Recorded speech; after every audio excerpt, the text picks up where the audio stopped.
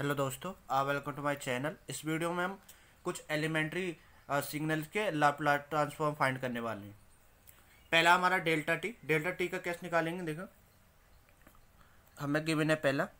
ला पहला निकालता हूँ मैं। Laplace transform of delta t.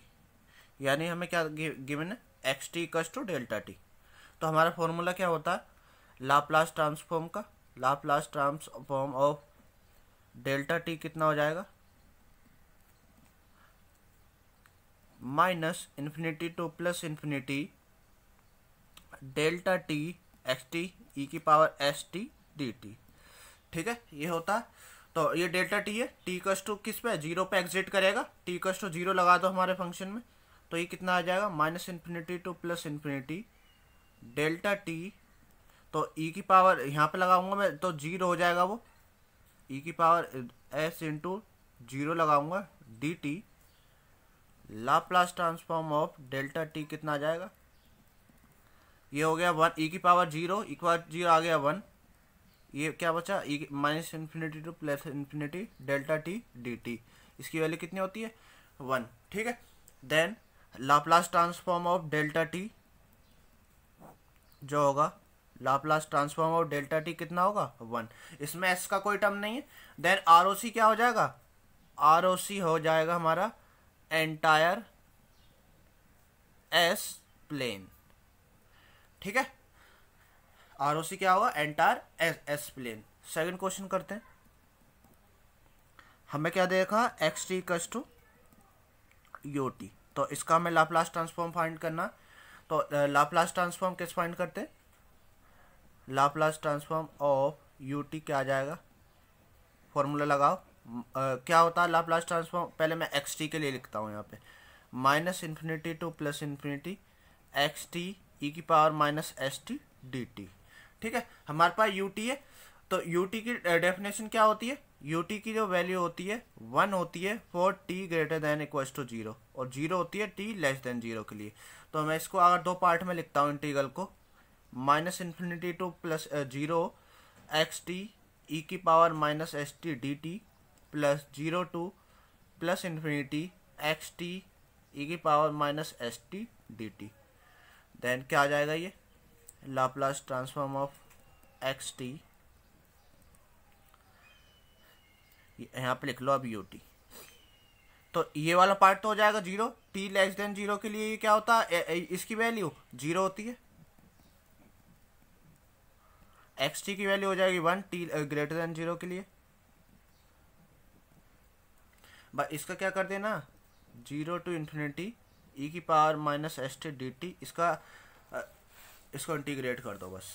तो ये आ गया Laplace transform of u t. क्या आ जाएगा इसका? ई की power minus s t minus s. Zero to infinity. इसकी लिमिट लगाओ। ई की power minus infinity minus e की power zero upon minus s देखो, अगर एस की वैल्यू ग्रेटर देन ज़ीरो तो ये वैल्यू क्या रहेगी? नेगेटिव रहेगी। अगर एस की वैल्यू लेस देन ज़ीरो हो गई तो वैल्यू पॉजिटिव हो जाएगी। ठीक है, ये ऊपर एस की वैल्यू अगर मैं नेगेटिव रख दूँ तो ये नेगेटिव साइन खत्म। तो फिर ये क्या हो जाएगा? ऊपर एस टी जो हो जाएगा पॉजिटिव हो जाएगा। जब टी की जगह मैं पॉजिटिव लगाऊँगा तो वैल्यू क्या आ जाएगी? ई की पावर इन्फिनिटी जो कि एग्जिट नहीं करेगा हमारा सिग्नल तो हम क्या करेंगे? एस की वैल्यू हमारे यहाँ पे सिग्नल को एग्जिट करने के लिए क्या होना चाहिए? एस पॉजिटिव होना चाहिए। इसी को कहते हैं हम लाप्लास वो आर ओ सी ठीक है? तो इसकी वैल्यू कितना आ गई? ई की power minus infinity zero e की पावर वन की वन माइनस वन तो ये कितना आ गया? वन अपॉन एस तो Laplace transform of u t जो होगा कि, किसके इक्वल होगा? One upon s R O C क्या होगा? यहाँ से देखा था अगर ना ना पता हो तो मैं एक ट्रिक बता रहा हूँ। सबसे पहले आर ओ लाप्लास ट्रांसफॉर्म निकाल लो उसका, ठीक है? इस टाइप से निकाल लिया उसके बाद हमने देखने हैं उसके कितने पोल्स हैं। यहाँ पे एक ही पोल्स है। अगर हमारा सिग्नल राइट साइडेड है ठीक है? मैं जो बोल रहा हूँ इसको लिख लेना। अगर सिग्नल हमारा राइट साइडेड है, जो आरओसी होगा, उन पोल्स में से जो सबसे बड़ा पोल्स होगा उससे उससे ज़्यादा होगा, ठीक है? यानी आरओसी सबसे बड़े पोल से ज़्यादा। यहाँ तो एक ही पोल है तो एस क्या होना चाहिए? हमारा रियल ऑफ़ एस क्या होना चाहिए? ग्रेटर देन ज़ीरो तो अगर इसको मैं ग्राफ पे ड्रॉ करूँ तो वो किस टाइप का दिखे, दिखेगा?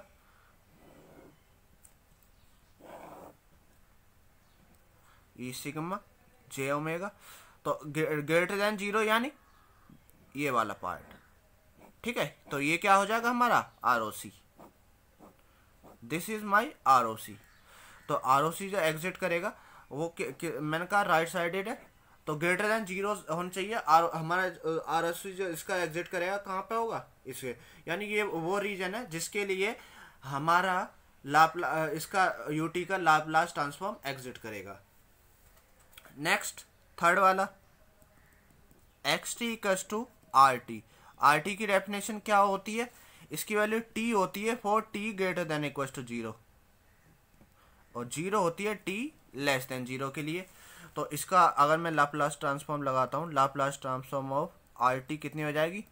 तो इसकी लिमिट कहाँ से कहाँ तक जाएगी? ज़ीरो टू इन्फिनिटी अगेन जैसा यू टी के लिए लिखा था एक्स टी की जगह टी दे रखा है इंटू ई की power minus s t d t अब क्या करेंगे इसका? इंटीग्रेशन कर दो।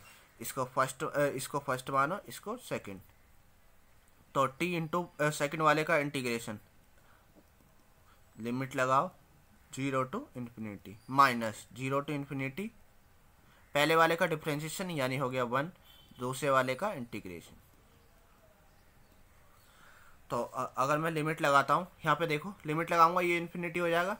इन्फिनिटी ई की पावर माइनस इन्फिनिटी माइनस जब ज़ीरो लगाऊँगा तो ये ज़ीरो हो जाएगा अपॉन माइनस एस माइनस तो इसको मैंने बाहर ले लिया तो ये कितना आ गया? वन अपॉन एस अंदर क्या बचा? ज़ीरो टू इन्फिनिटी, ई की power minus s t d t.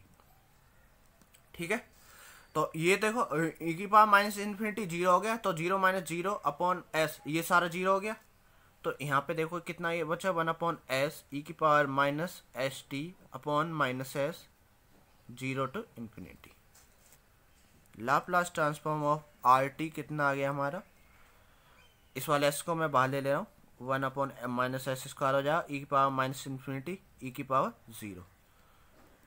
तो ये ई की पावर माइनस इन्फिनिटी हो गया ज़ीरो, ये हो गया माइनस वन। तो कितना बचा ये? One upon s square. तो आर टी का जो हमारा लाप्लास ट्रांसफॉर्म होगा, कितना होगा? One upon s square. और इसका आर ओ सी क्या होगा? वही पोल्स को मैंने यहाँ से पोल्स कितने आएँगे? ज़ीरो को मैं दो पोल्स आएँगे, दोनों ओरिजिन पे होंगे। तो सिग्नल आर टी जो आर टी जो सिग्नल होता है, वो राइट साइडेड होता है। तो एक ही पोल है इसमें तो क्या हो जाएगा हमारा आर ओ सी हो जाएगा? Real of s greater than zero ठीक है?